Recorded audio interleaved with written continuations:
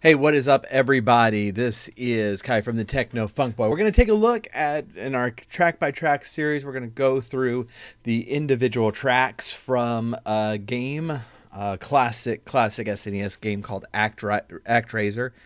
And the song is Fillmore. And so let's dive into this. So if you know, if you know ActRaiser, this was a really super early uh, any uh, SNES game this was not a launch title, but it might as well have been. It was so early, and and it had a musical style to it that we just we had not heard on games that had come out on the system prior to this and even now it remains the the music is is unique and it's very very kind of kind of baroque gothic very organy very very cool and fillmore is just one of my favorite tracks and so we're going to take a listen to uh to to a chunk of it right now and then we're going to start tearing it apart because there's a lot I, there's a lot of interesting stuff that's going on in this song that I did not realize was happening until we actually pulled the song apart and take a look on the inside. So it was very very cool. So let's take a listen to the actual the the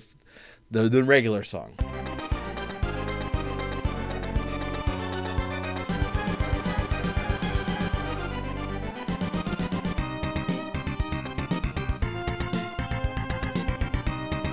It's that bass. Good night.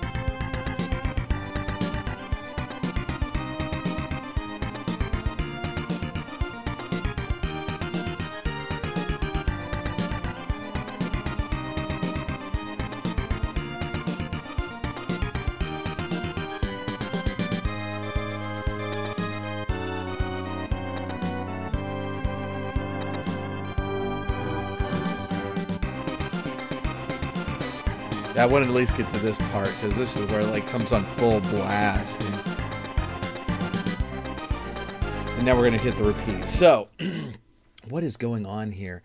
Um, so, the SNES has eight channels uh, to use for um, for music, and these are uh, polytone tra- channels. So unlike the NES, where each channel was only one note at a time, you can do more than one note at a time on the SNES. So That gives composers a lot of freedom to do a lot of different things with it. Uh, so in this particular case, we're they're going to use seven channels, which is um, I, I, honestly, I mean, as, you know, as, as a musician, that's a lot. That's seven different instruments playing at the same time. You know, like like think about your rock band, which is normally like four, right? Um, uh, but it, so it's still a lot. So uh, kind of diving in, I want you to check out first of all the the the uh, channel seven, which is actually the drum channel, because uh, this is some really interesting stuff is happening with the drums here.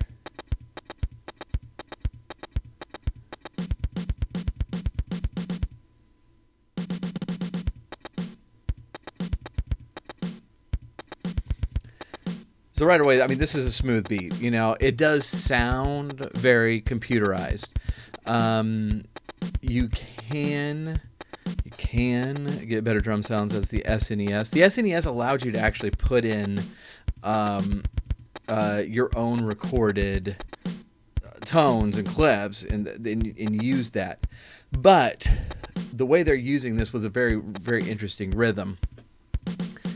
And the the the hi hat sound is is much more aggressive than I would normally think that it it would be. That's the the the sound in here. Okay. Um, right there. That's that's very loud, and, I, and, it's like that's one of the things I didn't notice until I was really taking a look at listen to this track alone. We're gonna add into the bass, uh, and actually let's start it over, because. So right now we have a like organ tone, which is really digging into like you know the um the the, the baroque type aspect of it. You know, it's like the the, the kind of gothic um, sound that we hear at the very beginning. Um, what we don't expect is this song is transforming into more of a rock tune here.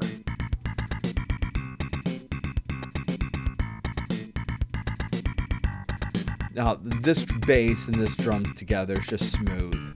It's just cool.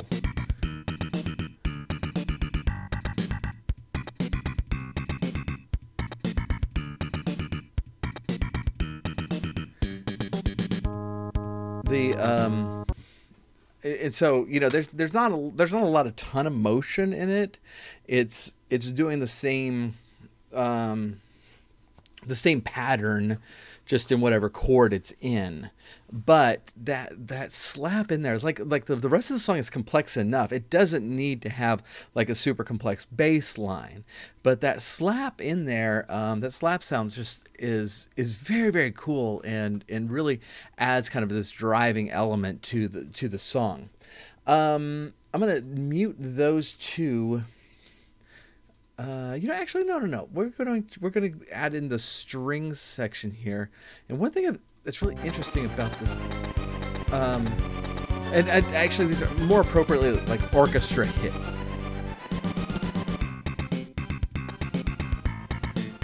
Actually, let's mute it because you can barely hear that.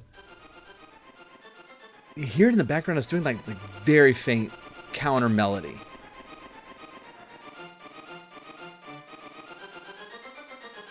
This is more of an orchestra hit tone, but the part they wrote for it is what we'd normally expect for strings. Because you know, the orchestra hit normally just comes in and pops something. But you can uh, you can hear like that really deep string sound in the background as well.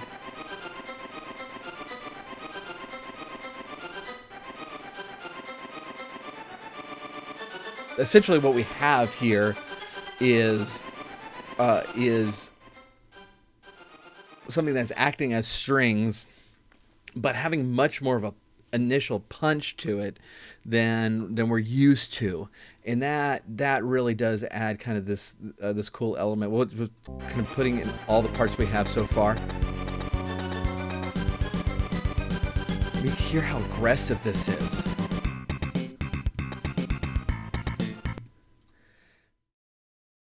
Cutting in um, basically everything else. There's just there's a ton of stuff that's going on here that um, we we essentially have like four different tracks that are acting as like organs um, that are bouncing around melodies and counter melodies or sometimes doubling up melodies like uh right, we'll start with these two oh, let me start over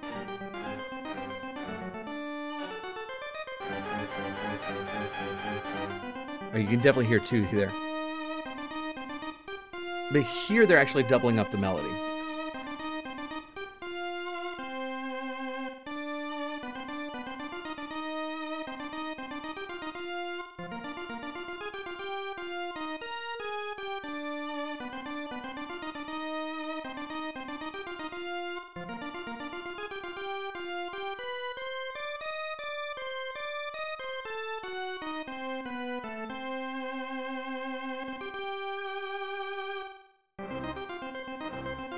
And now they're separating.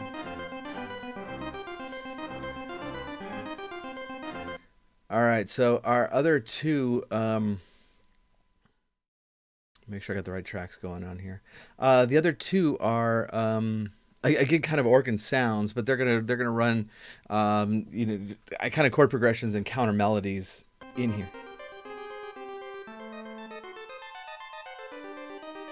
So you can see like these just these arpeggios of varying speeds.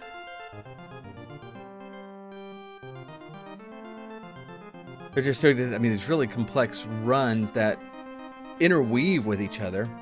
If we get all of these tracks in, we'll start.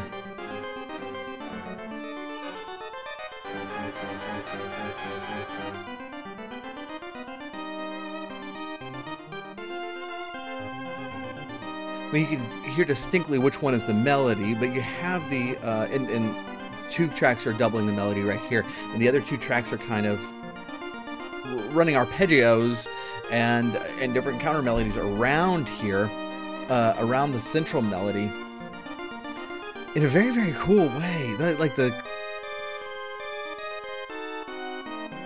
when they unite, like like in that moment when they when they when they will like unite there, um, for that moment, it's like really powerful. Then they kind of they separate again.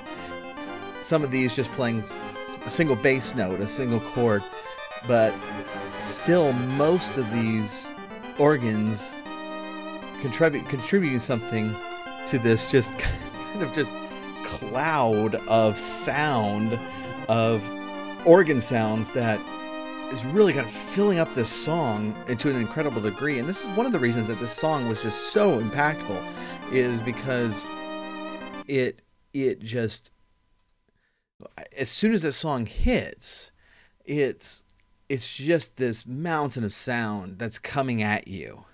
Um, in first of all, in a different style than we were used to from anything that we've heard so far. Um, but secondly, uh, just to an intensity that we hadn't we hadn't seen before, and it's one of the re- one of the ways this game really stands out uh, is is in its music. So let's unite everything again. And I want and and now that we've kind of heard the individual parts, we can uh, kind of see where the whole is going again.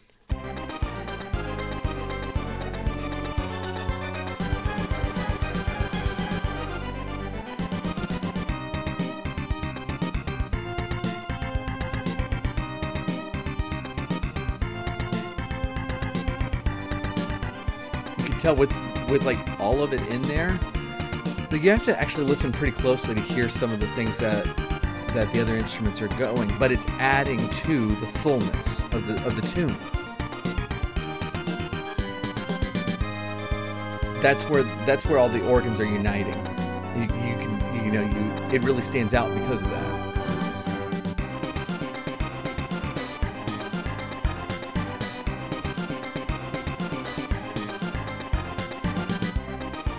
And now we get to the loop. So that's Fillmore from Act ActRaisers. This is a really, really cool song. It's one of my very, very favorites from the SNES era. And um, I, I, I, get even more of an appreciation for it when I hear it in, in like in this in this manner um, where I'm where I'm really gonna I get to get to like dig in and see what each individual track is doing. Um, and so thank you so much for tuning in to Track by Track.